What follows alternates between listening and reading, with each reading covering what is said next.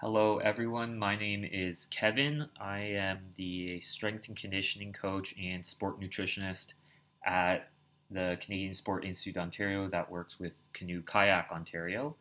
Today, I'm going to be covering strength training and recovery. So, on the agenda, I will first cover some of uh, the anatomy and physiology as a bit of a refresher just to get our uh, heads in the right space. I'll then talk about uh, different types of strength. We'll talk about the application within your sport. I'll talk about some practical considerations during this pandemic, and then we'll talk about some nutritional considerations at the end as well that will help us optimize everything that we're doing. So to start, we'll cover some of the anatomy and the physiology. So this is a muscle fiber, and uh, we have our thin actin filaments, and we have our thick myosin filaments, and uh, this is called the sliding filament theory. And the way this works is that these thick uh, filaments here have these little arms and they grab onto the thin filaments and then they pull them towards that M line if you take a look at this bottom image here. And then what happens with the uh, muscle is it gets shorter. So sliding filament theory, the, uh, the thick filaments pull the thin filaments uh, towards the center and the muscle gets shorter. So the muscle pulls, it then pulls on this tendon here and assuming the tendon is strong enough, uh, it will transfer that force and then it will move that bone and then this is how we create movement. So again, our muscles contract, they pull on tendons, the tendons pull on bones, and we create movement. Here we have an mTOR complex. I know it looks complicated, but I'll simplify it a little bit for you. Uh, this is going to be a key piece in terms of us training the muscle or how do we create adaptation, in this case that strength adaptation that we're looking for. Uh, this is going to be one of those key pieces within the cell, so from a cell signaling perspective. And so one of the big things that we do is that we, if we want to get stronger, then we strength train. And strength training gives us a mechanical loading of these muscles, and that stimulates a molecule called AKT, and then that downstream activates mTOR, which then leads us to a strength adaptation. A few other things I'm going to key in on here. Uh, you don't need to have an understanding of every single stage of this, uh, but just some things to keep in mind that I'll try to loop in later on in the presentation. Insulin also plays a role in this AKT molecule, so it'll also give us that, uh, that um, mTOR stimulus signaling, which will then give us a strength adaptation. And of course, how do we get an insulin response? That comes from carbohydrates and calories. And then down here at the bottom, the other thing to consider is our amino acids and our protein. So arginine and leucine are two different amino acids. And so we need amino acids and protein to, again, stimulate mTOR, and then that gives us a strength adaptation. So carbs and protein, good for getting strong. Another thing here to consider is a molecule called AMPK. And AMPK is an energy sensing molecule within the cells, and it actually works in balance with mTOR. So when AMPK is high, it is going to blunt our mTOR signaling. AMPK is usually high when we have energy stress. So whether we're training a lot or we've trained very recently for an extended period of time, or if we're not eating enough. So AMPK will will activate when we have uh, energy stress, and then that will blunt our mTOR signaling. So one of the key takeaways from this, knowing that these two are always working in balance, is that you want to give yourself some time before you do your strength training. Don't do a long, exhausting conditioning session and then right after follow that with your strength training. It's going to be hard to get strong if that's the case you want to give yourself a break in the literature is saying about three to six hours in between your strength training sessions and uh, any other type of training that you're doing is going to be optimal. So again, from a cell signaling physiology perspective, you want to give yourself a break between your sessions if you want to get the most out of your session. Okay, so there's that little quick physiology refresher.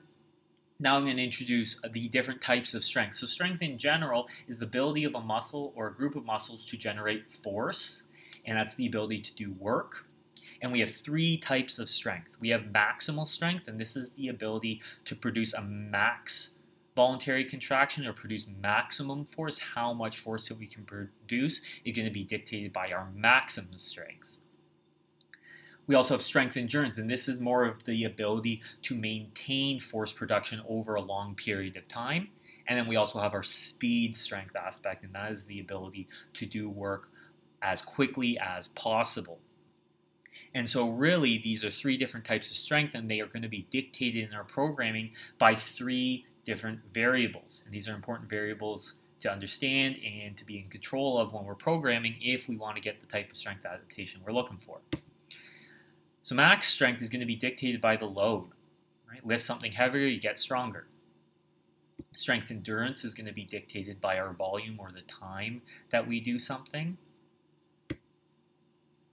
And speed strength is going to be dictated by velocity.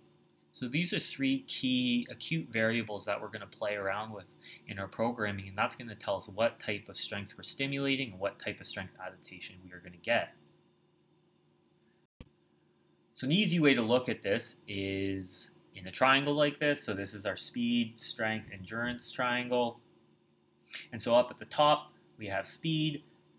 On the right here, we have endurance. And on the left, we have our, uh, sometimes we just call that strength, but really it's referring to maximum strength here. And the nice thing about looking at it like this is it also gives us three spectrums that we can look at because the reality is that an exercise is not just velocity or it's not just load or it's not just volume. It's always a combination of all three. So we can look at these as a spectrum that gives us a bit more of a nuanced look. And so then we have our speed endurance spectrum. We have our strength endurance spectrum. This is also the spectrum that's going to give us our hypertrophy adaptations. That's important to keep in mind. And then we have our speed strength spectrum, and that's also sometimes called our power spectrum.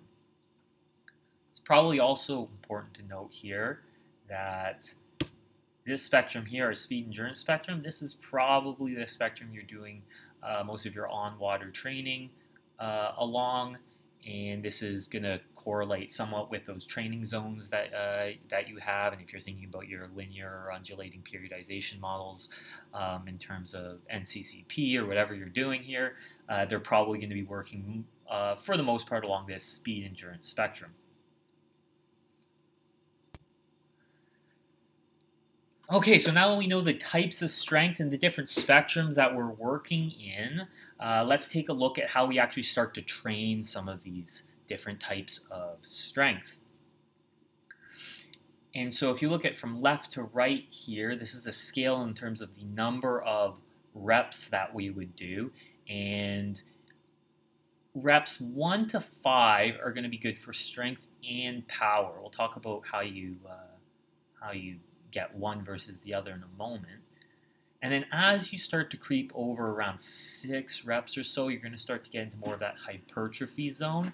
And then as you start to progress past around 10 to 12 reps, you're going to be starting to work more on that muscular endurance end of things.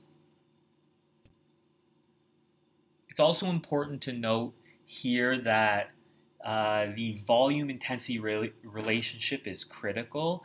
Uh, just because you start to do less reps doesn't automatically make it power or strength training. Uh, and like the way I like to think about it is uh, doing three push-ups when you can do 50 doesn't make it max strength training.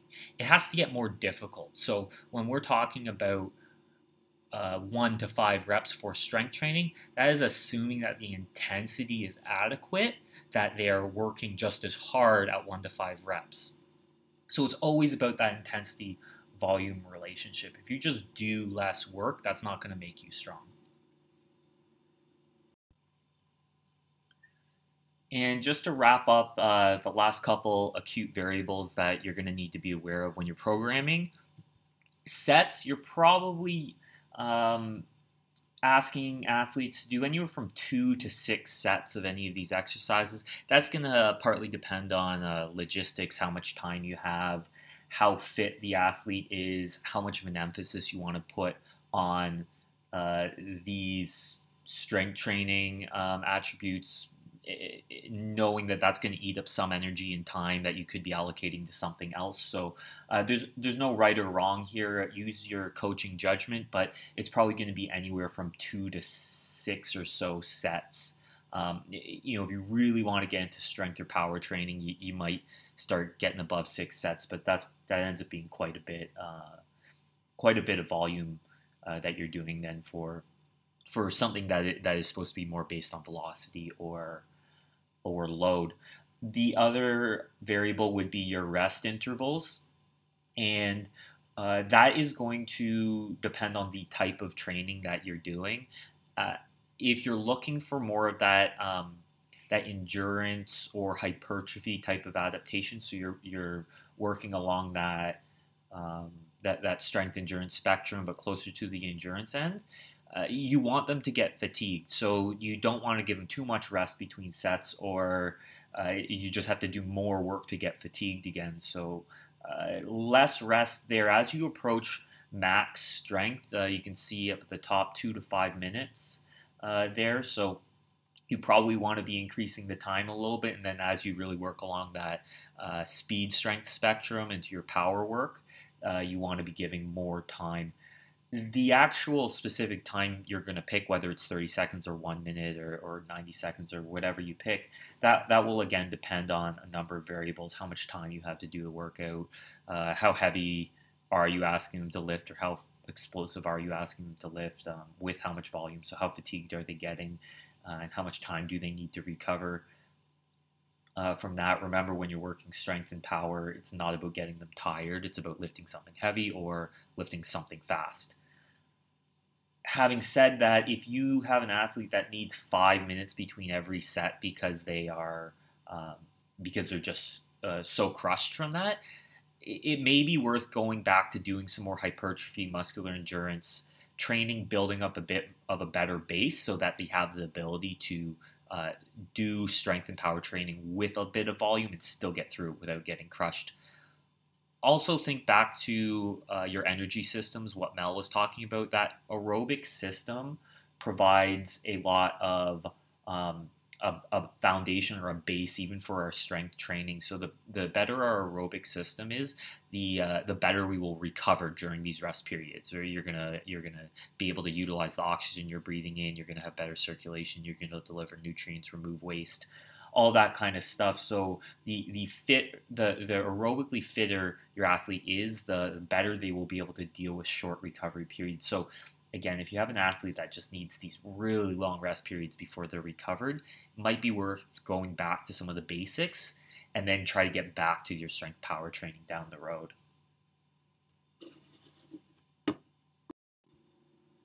So back to our triangle here, our different types of strength. Uh, the way I would approach this if I was doing uh, some strength training or trying to create a strength training program, I would look at uh, the speed endurance spectrum and I would think that's probably for the most part being taken care of on water training. It's probably not the best use of my time if I'm developing a strength training program to address that there. So I'd probably chalk that up to the on water training and then I would focus my strength training on this side of the triangle. So I would look at my hypertrophy, my strength, and my power types of exercises.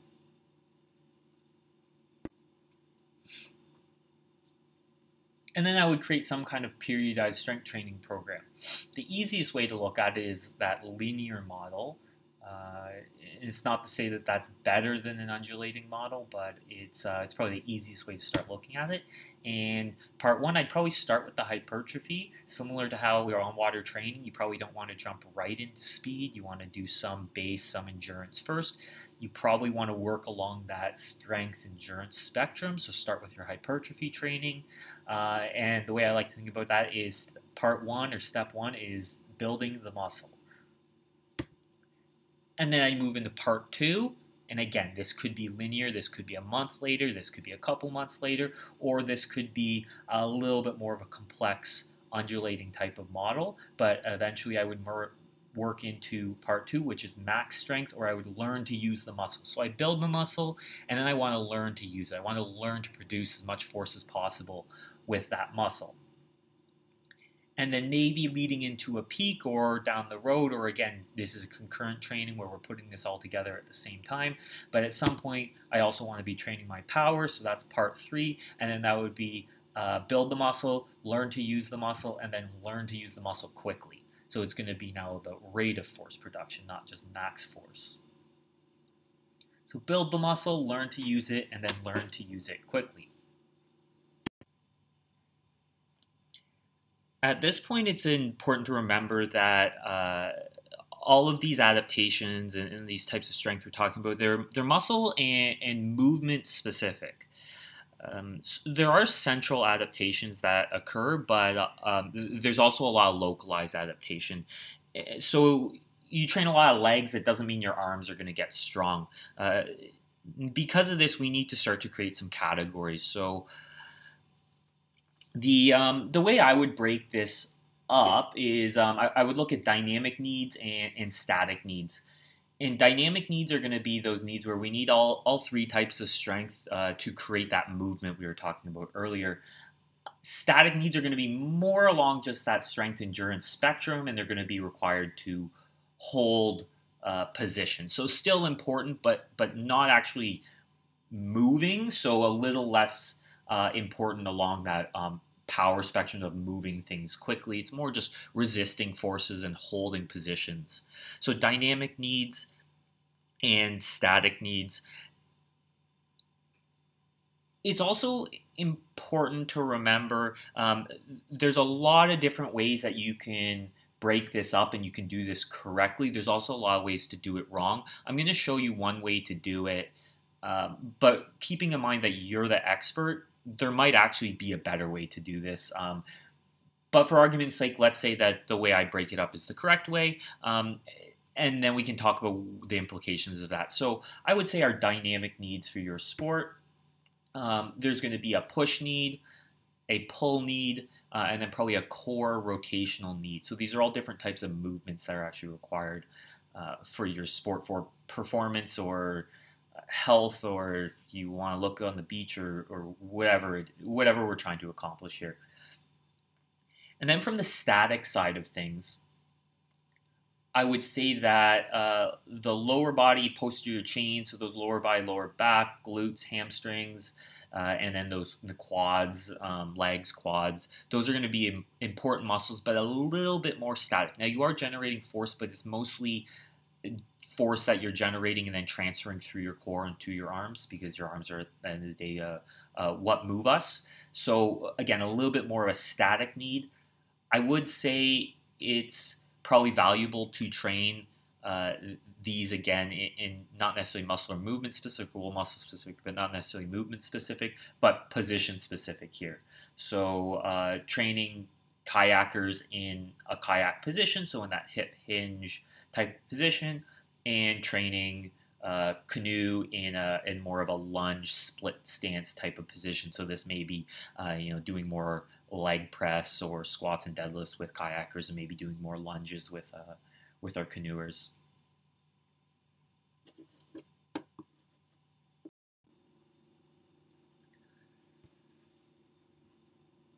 So that's a nice way to, to break everything up. But then, obviously, uh, uh, in our current climate during uh, COVID 19, during this pandemic, it adds some extra problems. So let's problem solve, let's troubleshoot some of the things that we're facing uh, currently when we're trying to implement our strength training programs. It may be actually hard to train certain muscles or movements so I know I said that I would focus on push, pull, core rotation, and then some static development of the lower body. But the reality is that uh, it might be hard to do some of those things. That's a potential problem. It might also be hard to train certain types of strength. Uh, and this is probably going to vary from athlete to athlete, different uh, environments, different access to facilities and equipment. And so that's potentially also a problem is that maybe we can train certain types of strength but not others. So what do we do about it? I'll probably start with saying that it's important to be innovative and to think outside the box here. Now that's easy to say. Um, the reality is sometimes we just won't be able to do certain things, but at least give it some thought and uh, and and try to problem solve, try to to come up with something that would work. Um, again, y- you may not be able to, so work on what you can and don't sweat what you can't.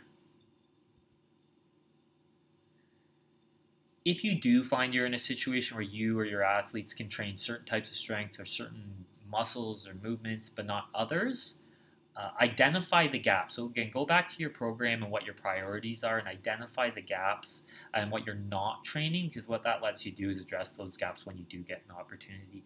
Uh, being aware of the gaps is uh, in a better position than actually having no idea that it's a gap at all. So even if you can't do anything about it, identify them so that you can address them down the road.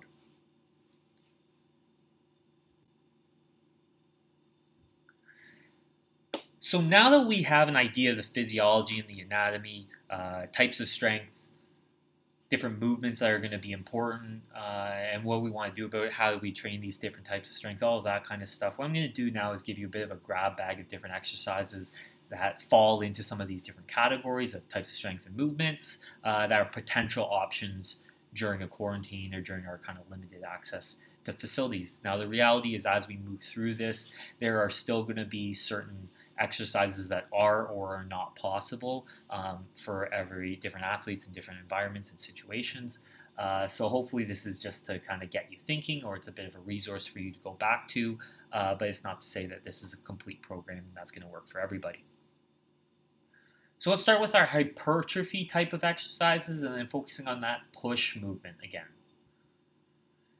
And so when we're thinking about hypertrophy, we're thinking about six plus reps, so minimum six reps or more.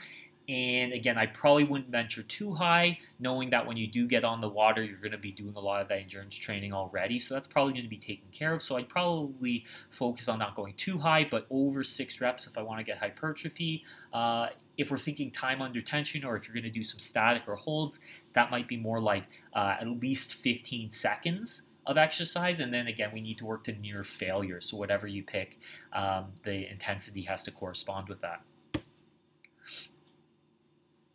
Push-ups are always a good option. You also have a little bit of play with intensity. Uh, when you do push-ups, you can move from your knees, which is kind of like an incline. Um, it changes the angle. It also shortens that lever. Or actually just doing a true incline push-up or a decline push-up. An incline push-up would be something like maybe you put their hands on a couch or a chair or a table. That makes it a little bit easier. So again, if you have that athlete that's not quite strong enough to do six, at least six reps uh, with good form, and you but you want to be working hypertrophy, you need to get the volume up there. If you put them on an incline, makes it just easy enough. They might be able to do a little bit more volume, and then you're going to get that hypertrophy adaptation.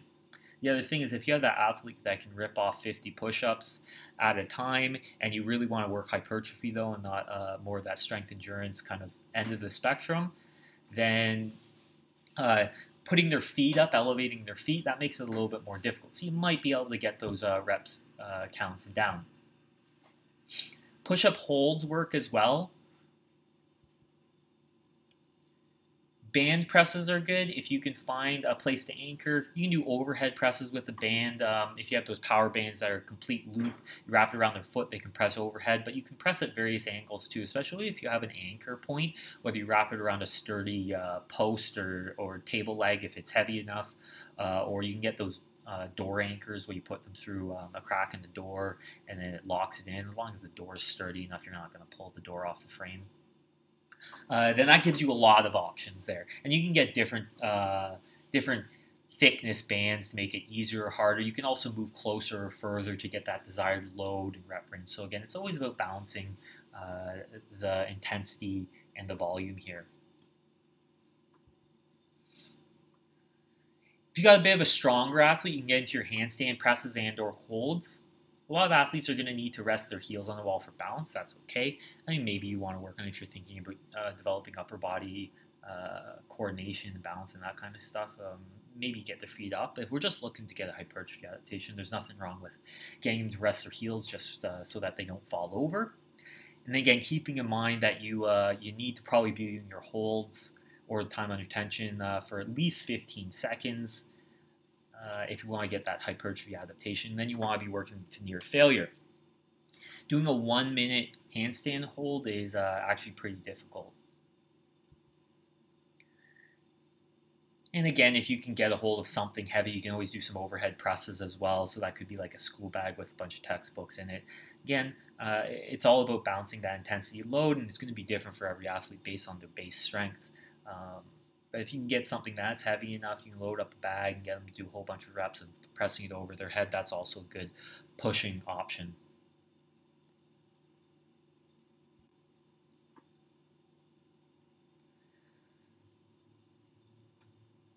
All right, max strength push options now. So we're working that one to five rep range or one, one to 15 seconds if you're thinking time under tension again. And uh, of course, working to near failure. Uh, so it's not just about doing less reps, it's about a, doing less reps because it's heavier, because it's harder. That's going to help us because you have to do more force, uh, give us that max strength type of adaptation. So thinking about our push-ups again, some athletes push-ups is going to be a max strength type of workout. And again, you play around a little bit with the incline decline uh, to get the desired load and reps. But the reality is that sometimes you you just can't vary it enough. Some people push-ups are max strength, and some people push-ups are hypertrophy, and some people push-ups are endurance. And uh, you can only vary it so much. But it's an option for some people. Same thing with our band presses. Uh, you can press at different angles uh, depending on the different thickness bands. You can get pretty stiff, thick bands that can become quite difficult to press. Um, and then you can move further closer to the anchor point. But again, sometimes it's just very hard to actually vary that uh, load enough to get max strength. And definitely, if they're working with those therapy bands, it's probably not going to be uh, stiff enough to, to be a max strength exercise. So it can be difficult there, but sometimes you can find some options. I would avoid the handstand presses or holds uh, when you're thinking about max strength.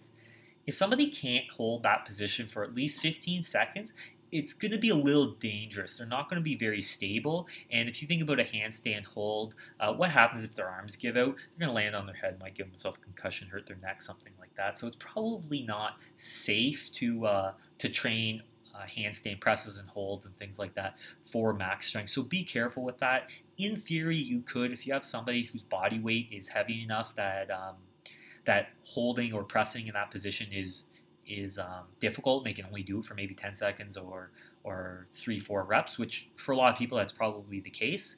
In theory, that's max strength training, but I would be careful again. It's kind of dangerous. And again, if you can get a heavy enough bag or, or something that they can press over their head, maybe a coffee table or something, if you're not worried about dropping it and it's uh, and it's heavy enough, um, you could train max strength. But again, uh, you only have so many options. So for a strong athlete, it's going to be hard to find something heavy enough for them to train max strength uh, with overhead presses. So what do we do then? Let's say you're in this situation and you go through that checklist and say, oh, push-ups aren't an option, band presses aren't an option, handstands aren't an option, overhead presses not an option. What do you do? Uh, and Mel alluded to this in her session uh, a little while back. This is where we can get into some of our isometric training. And so I want to spend a moment here talking about this. Uh, isometrics is uh, an exercise, it's when there's no movement. And specifically here, we can look at some of our maximum uh, effort isometric training. And that could be, for example, you're doing a push up and um, you wrap a towel around your back so that when you're in the bottom position, you grab it, you make it nice and tight, and then you push, but the towel, the tension of the towel stops you from uh, completing the rep. And then that lets you push as hard as you can.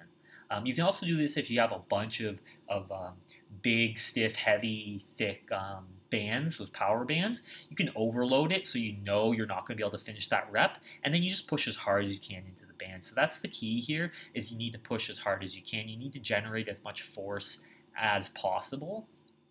Sometimes we call these overcoming isometrics. The idea that we try to overcome uh, the uh, the resistance, but you can't. And this would this is versus uh, something else called a yielding isometric. So isometrics get confusing. We, we throw out the term a lot, but uh, a yielding isometric would be more like that push-up hold, where you, you go to the bottom of the push-up, or even at the top like a plank, um, and you hold the position, but you're choosing to stay there. You could move if you wanted to, but you're choosing to stay there. And then you'll stay there for a period of time. Those can be great if you think back to the hypertrophy. It's great for accumulating volume um, at a given load, so it can still be good for hypertrophy and endurance. But if you're not pushing as hard as you can, it's not going to be the best for developing uh, developing max strength. If you think about it again, uh, you know, if you can do a ton of push-ups, it's not you're not going to push as hard as you can on any given push-up. It's going to be hard to develop max strength. Again, if you don't have any big bands, it's going to be hard to develop max strength. Avoiding the handstands because you don't want to hurt yourself. Um, if you don't have anything heavy to press over your head, it's going to be hard to develop max strength. So that's where our, our max isometrics come in. And so whether that's push-ups, uh, or doing your band presses where you, you just anchor a whole bunch of really heavy bands or maybe a towel somewhere and you just try to push with, uh, against it as hard as you can, but you can't move, it gives you that opportunity to, to generate your maximum amount, amount of force, and that's going to help us uh, get a strength adaptation. So th- this is a nice tool or a nice trick for us to do during quarantine when we don't have access necessarily to, to heavy barbells or dumbbells or, or our more traditional uh, ways of forcing us to produce as much um, uh, force as possible. The thing about isometrics is that they they are the adaptation is going to be joint angle specific because we aren't moving through a range. You're not going to get strong through a range. You will get uh, stronger at that position that you're training where you were trying to push and move it, but because it's an immovable object, it doesn't move by definition. You're not going to get strong through that full range. So uh, it begs the question where do you do the isometrics? What joint angles? What positions do you do? Do you do them in as many as possible? Maybe, but you'll drive yourself crazy trying to replicate every single position of a movement and then train an isometric there. And it's probably not logistically possible. So, generally, the idea would be we want to train at something called a sticking point. And a sticking point is the point of a movement where we have the least mechanical advantage. Uh, and so if we take a look at the screen here, a bicep curl is, is probably the easiest way to wrap our heads around this, um, although it does apply to more complex movements too. It doesn't just need to be a bicep curl. And so if you think about the arm here, the forearm's going to be this moment arm, and it's going to uh, move around the pivot, which is an elbow or the fulcrum here, and you're going to be holding weight in that hand, so that's going to be where the load is. And the relative difficulty of the exercise is going to be proportional to how far horizontally that load gets from the uh, from the elbow.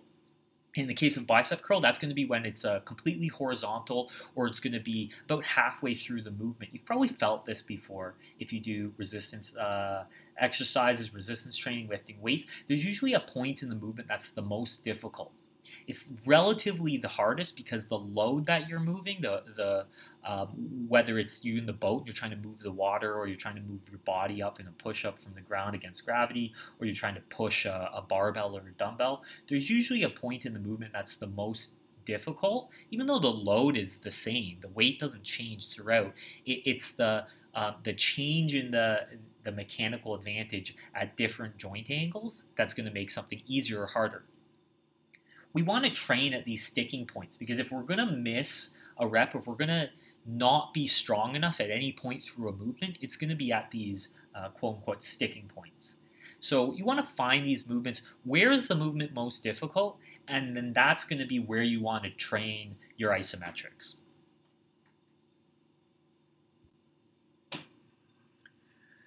Okay, and so then our last category, we've uh, we've built the muscle, we've uh, learned how to use it, maybe with some isometrics. Especially, we're trying to learn how to use it at uh, at our sticking points where we're um, we're going to be relatively the weakest. And then the ne- next step or the last step would be to uh, learn to use it quickly, learn to produce that force quickly. Again, this is that one to five reps, but instead of working to near failure, it's now not that relationship between load and volume. It's that relationship between load and velocity. So you want to pick the weight that is the most difficult, but where you can still move it through that concentric phase or that up phase explosively. So you don't want it to be so heavy that you are moving through slowly or seeing someone grind through a rep. That's not being powerful. You want to move um, explosively or quickly with some velocity, but you still want it to be as heavy as possible. So it's that relationship between load and velocity. You don't want to go too light. If you go too light, you're really just training speed again. And, and we already kind of take care of speed on the water, so it's probably not the best use of our time in the gym. Uh, you, we, we want to go as heavy, move something as heavy as possible as quickly as possible. So that's what power is. And so this case, uh, thinking back to our push-ups or pushing exercises, explosive push-ups, uh, maybe explosive kneeling push-ups or explosive incline or decline push-ups. Again, playing around with that load, that relative difficulty, to get it to the point where you can uh, do it explosively for anywhere between one to five reps. Uh, just a note with these explosive push-ups, don't clap. Um, I'm not a big fan of clapping. I find that it takes away from the intent to actually push the ground away from you or for them push into the ground as hard as possible. They start thinking about how to pull their hands early and get as much air time, and then they might catch themselves in a pretty low um, elbow flexed position. And then they try to, try to keep their hands in the air as long as possible and that's kind of the same, but it's not exactly the same as pushing as explosively, as fast, and as hard as they can into the ground. So try to cue them to just push push into the ground as hard as possible. Push the ground away from you. Um, push yourself into the air, explode. Those are the types of cues you want to use, opposed to trying to get them to think about clapping. You'll get people that try to do a whole bunch of claps and then they land on their face and hurt themselves, and at the end of the day, they weren't actually being uh, powerful or explosive. So a couple different options I like to use, and these are all uh, various um, versions that are all going to train power, but just slightly differently. Um, so you can do a, a, kind of a classic push-up where you just go down and up, but you go down and then you try to explode up. And the idea would be to actually leave the ground, right? Push the ground away from you. Leave the ground, get as much air time as you can, uh, but by pushing into the ground. So you just go down and explode up. You can also move up and down the spectrum a little bit, this power spectrum, by adding a little bit more volume, um, decreasing the velocity a little bit, and then forcing it to, to get the velocity going again. So you could go down and introduce a pause. So down, pause, one second, two seconds, three seconds, however long you want, but then also explode up. Sometimes this is uh, this is called uh, power endurance. So it's the idea that you're you're playing around with all three variables. So instead of moving up and down one of these spectrums, you're kind of moving uh, the stimulus right into the middle of that triangle. Uh, so down, pause, explode up. So that's a good way to train. But as long as you're being explosive, if, if they start moving really slow, you're probably pausing too long. Uh, but down, pause up, or you could also do it where they uh, there's no reactive part at the bottom at all. You just start at the bottom. They start laying on their chest. They put their hands on the ground, and then you get to explode up uh, right from uh, no movement at all. So all various ways of training power with that explosive push-up. You also do explosive stuff with the band presses. Again, if you can anchor it at the wall, um, you can press at different angles, move further back depending on uh, how difficult you want it, uh, use different thickness bands. And then in this case, you're probably going to actually try to introduce your hips a little bit, rotate the hips and then explode through that movement. It's going to teach them to generate some force from their hips, transfer it through their core, and then into that pushing movement again actually very similar to what you uh, what you probably are asking them to do on the water. A slightly different movement, but conceptually of producing uh, force from their uh, their core and their big muscles and transferring it through their arms to something. Okay, so let's move into hypertrophy for our pulling options. Again, I'm going to move through this a little quicker this time. Um, not going to explain everyone uh, every single time, it's, so it's more of just a grab bag. I'm going to try to use the terms that were you, if you just wanted to Google it, if you weren't sure what it is, uh, or YouTube it, um, pretty standard terminology. Uh, for these exercises, I'm going to throw them all just to give you a bit of an option. You, you can, again, start to be innovative, think outside the box, figure out what your options are um, for some of these. So hypertrophy, this is our 6 plus reps to near failure or 15 plus seconds, but for our pulling options now. So our body row and or holds and trying to be innovative again, this might be you're laying under the dinner table and you reach up and you grab onto the edge of the dinner table and then you pull towards your chest, or maybe you pull and you hold at the top, or maybe you do both. You pull, hold, back down, maybe you pause for three seconds. Um, and then you know you're thinking about with a, a, number of reps to near failure or uh, holds and time to near failure. Uh, that will be a good way to get some hypertrophy with those pulling movements and those uh, uh, those posterior back muscles and things like that. The problem is it's hard to vary. Right? You're kind of stuck with what you got. Your body is either heavy enough. Um, or light enough, depending on how you think about it, to get hypertrophy adaptation eh, um, if you do enough volume, or it's not. It's hard to load. You could think about putting heavier things. Maybe you got like a bag with some textbooks. Again, you put that on your chest. Uh, put put something heavy on your chest, uh, but you can only do so much. So sometimes it's hard to get the the load in the sweet spot there. Chin ups and pull ups, if you have something to hold on to, they can be great. These are often too difficult.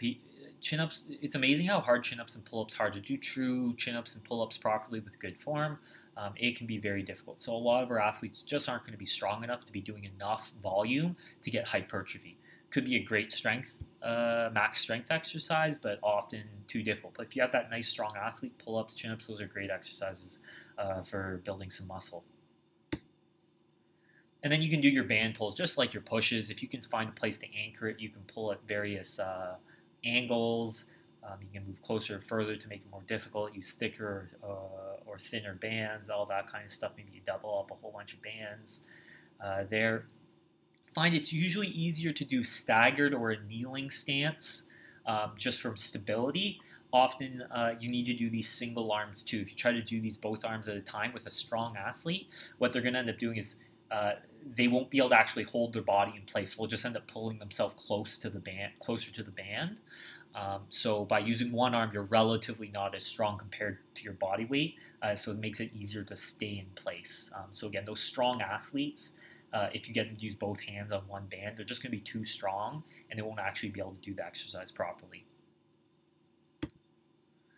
And also band pull aparts; those are nice things that you can do if you can find um, find a band, uh, put it out in front of your chest, arms straight, and then just uh, uh, uh, pull the band apart as hard as you can. So max strength options, again, sometimes it's an option, sometimes it's not. Uh, we're working that 1 to 5 rep range, uh, 1 to 15 seconds to near failure. Body row, for some people it's going to be strength, for some people it's not. Um, again, hard to vary the, the load, so um, you know, different for every athlete, but for some of them, uh, their body is going to weigh enough that they can only do a few reps. It's good max strength training for them. Again, same thing with chin ups and pull ups, but kind of the opposite. You're going to find a lot of athletes are not um, are not strong enough to do chin ups and pull ups for hypertrophy training, but they are. But it is the perfect amount for max strength training because they can only do three or four good reps on these. Uh, if that's the case, great way to get strong. Band pulls, again, if you can play around with the angles and the thickness and, and distance from the anchor point, uh, you might be able to do some band pulls uh, for strength training. And then you can also introduce some of those isometric ideas, so max isometric or overloaded band pulls. Um, again, single arm or unilateral probably works best. If you're trying to get someone to pull as hard as they can on a towel or a, a band that's too thick for them to, to actually stretch out, if you do it two hands at a time, they'll probably just end up pulling themselves closer to the band instead. So you need to uh, you need to get them in a nice stable position, and then you probably need to pull one arm at a time just so that their body weight is heavy enough.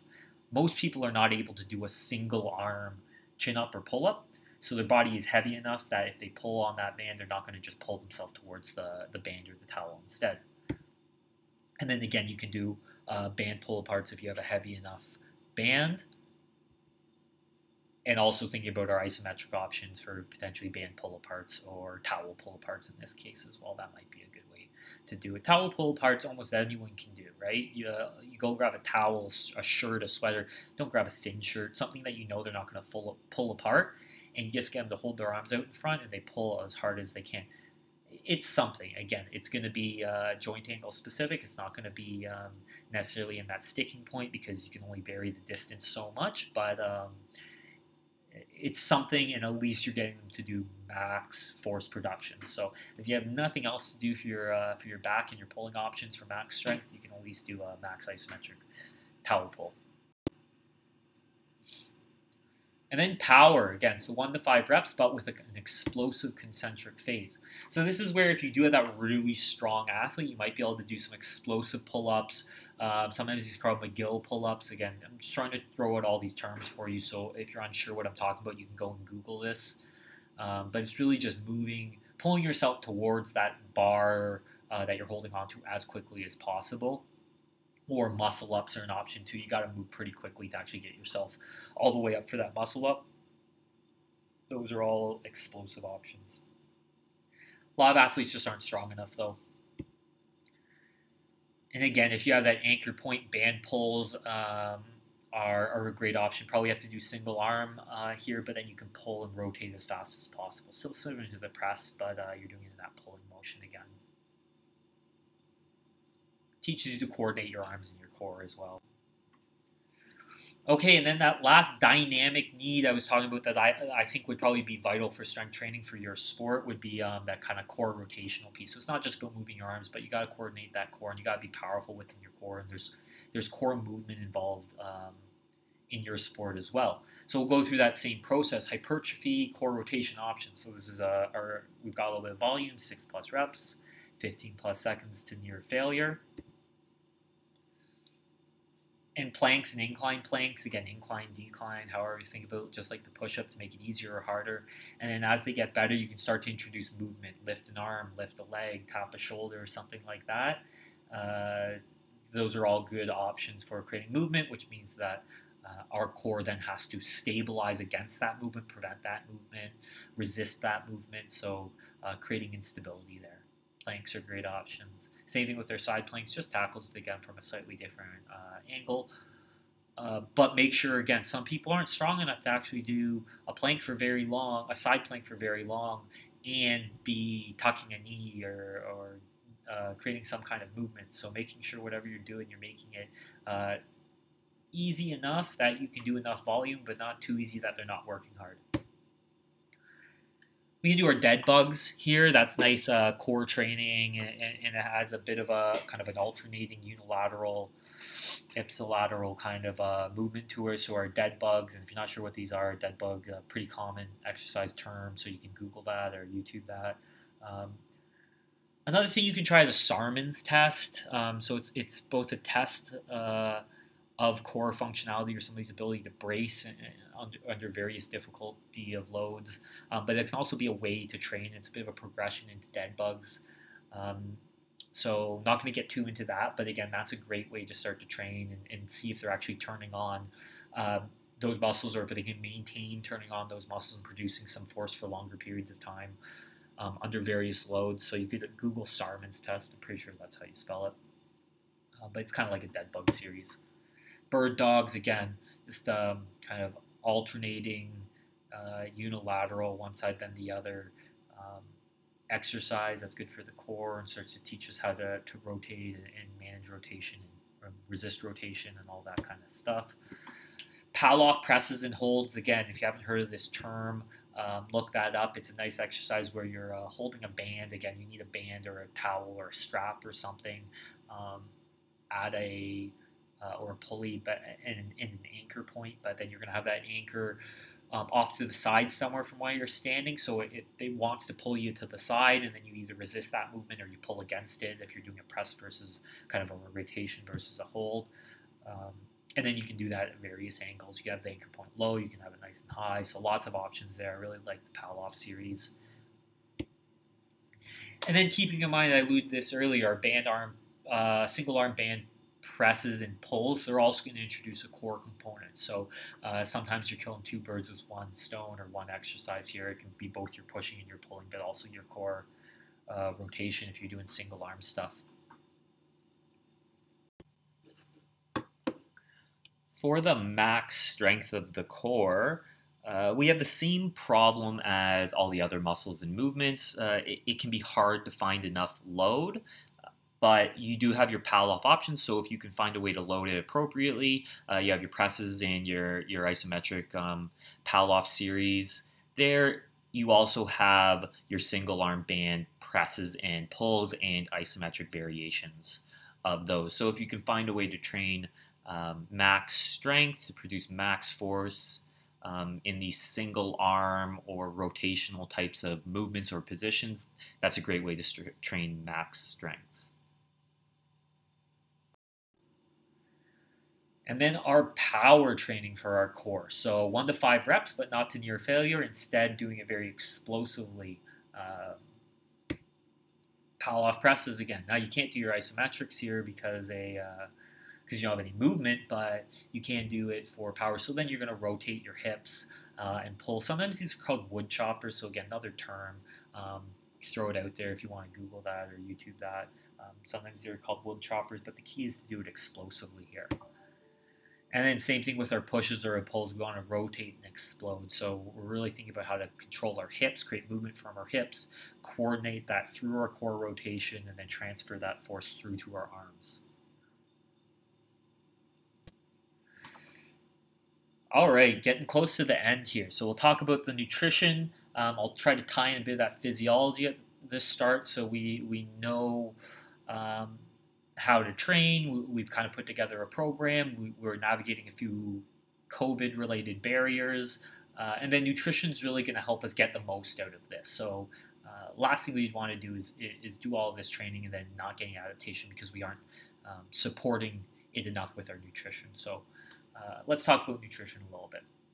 Pre training.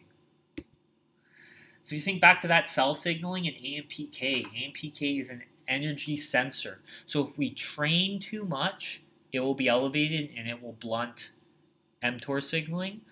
Uh, also, if we don't eat enough, it's one of the, the, the best ways to, to really um, put AMPK through the roof is to train fasted. There's no energy if you haven't been eating, and so AMP goes up and it blunts uh, mTOR.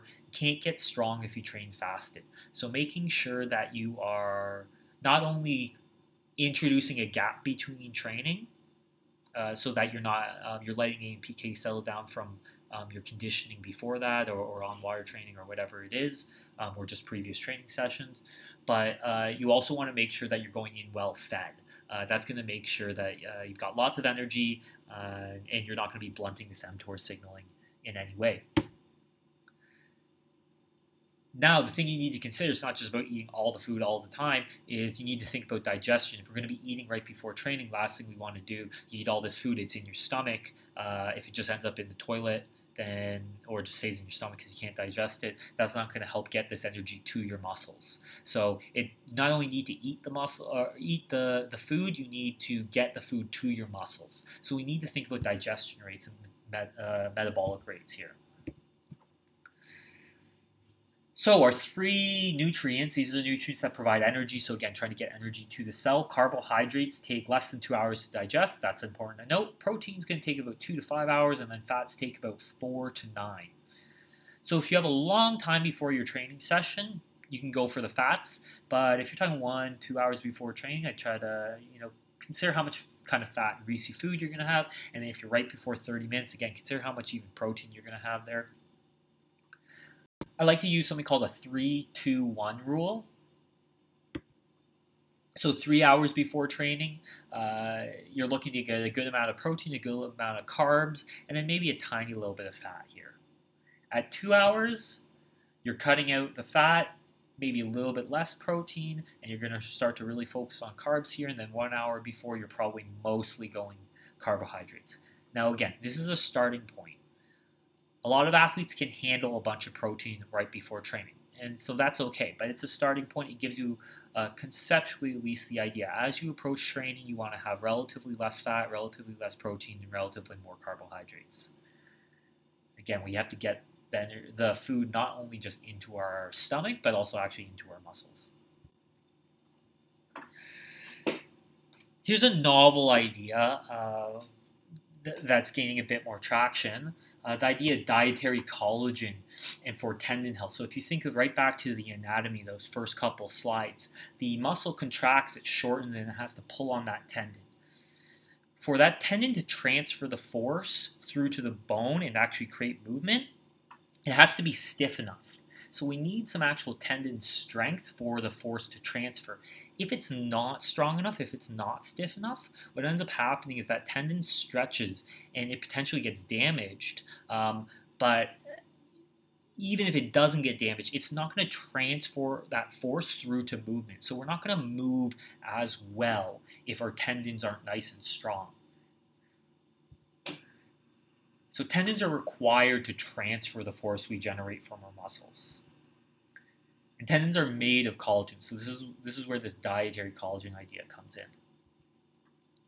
So dietary collagen pre-training may provide the amino acids that are necessary to synthesis collagen. So again, collagen is made of, uh, sorry, tendons are made of collagen and collagen is made of acids. So you are what you eat. If we eat a little bit of collagen, we get some of those amino acids. The idea would be um, we could potentially get those amino acids into the tendon so that it can uh, create more collagen within the tendon and make that tendon nice and strong. So just like muscle protein synthesis, uh, um, you know, building muscle hypertrophy, we can actually um, uh, build tendon strength too. So the idea would be a little bit of um, dietary collagen may help with that. Now the thing is, it's very new still, and the efficacy is, is yet to be determined. So just throwing this out there so you're kind of aware. I'm not saying you have to do these things. Um, I would say that 3-2-1 and just getting enough energy uh, is probably priority number one, but it's something to think about here. Um, however, if we think about the risk reward, collagen's a protein, and more protein doesn't hurt. So again, even if it doesn't um, necessarily help with tendon strength, in general, our athletes don't eat enough protein, so protein is good.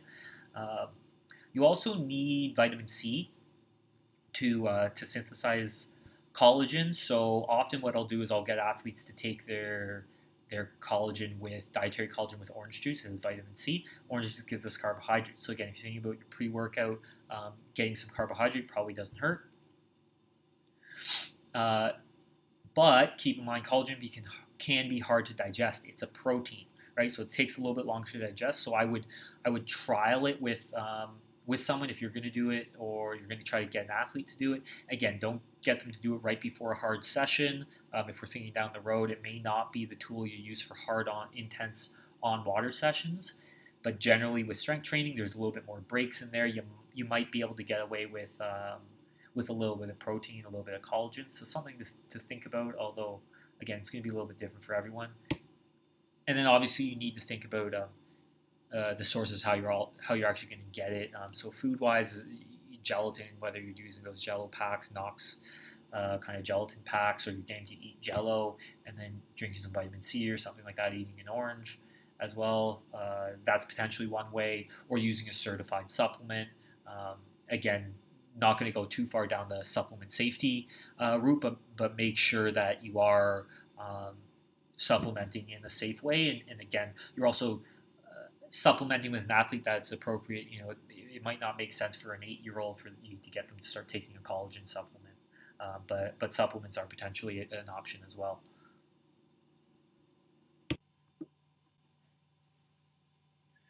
So if you want to look into this a little bit more, uh, I would encourage you to look up someone, Keith Barr. He's doing some research in this area.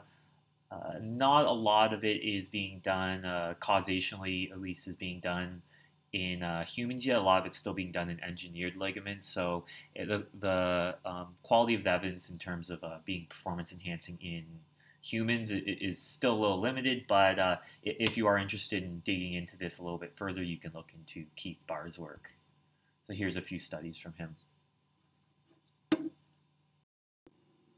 Okay, so we've got our pre-training. We're going in. We've got this nice gap between training sessions. Uh, so we and we have this nice, well-designed strength training program. So we're going to get nice and strong. Uh, we've got lots of energy. We've we've uh, we're going in not fasted. You, you have a little um, maybe a carb snap right before so that you've got lots of energy. So we've we put ourselves into the perfect situation to get nice and strong. Then the last piece would be making sure we're recovering uh, from that. And so again, thinking back to the cell signaling, what are the two pieces that uh, nutrition pieces that activate mTOR? It's those protein or amino acids, arginine and leucine. So having some protein, um, and it's also getting that insulin response, and that's going to come from our carbohydrate.